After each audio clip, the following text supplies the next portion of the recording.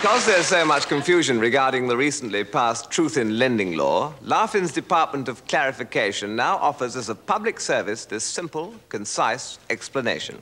The truth in lending law works like this. See, the finance charge is the monthly charge charged against the previous charge less the past payments and might also include late charge for non-payment of the previous unpaid balance charge, but that's separate. And besides, I don't understand it as well as the other. Thank you.